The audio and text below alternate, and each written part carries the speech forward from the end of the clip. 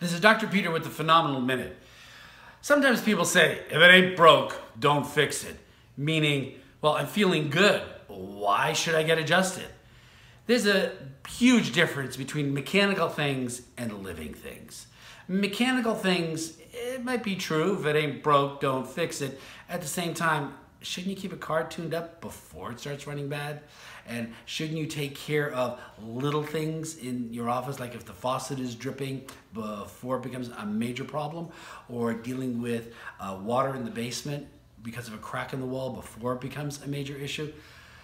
You know, I guess a part of that phrase def- depends on how you define broken.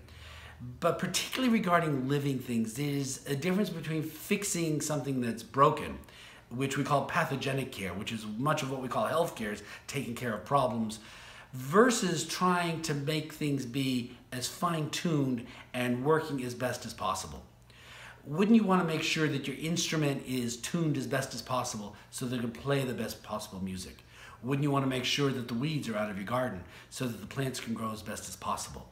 The body is this incredibly well functioning not machine, but living, breathing organism that can be extremely well tuned when it's a nervous system free of interference. It can be a beautiful blossoming garden when the weeds are taken away by ensuring the spine is free of spinal subluxations, the interfere, worst interference that can be there in the nervous system that robs us not just from our health, but from being as healthy and as strong as possible. Dr. Peter, it's a Phenomenal Minute.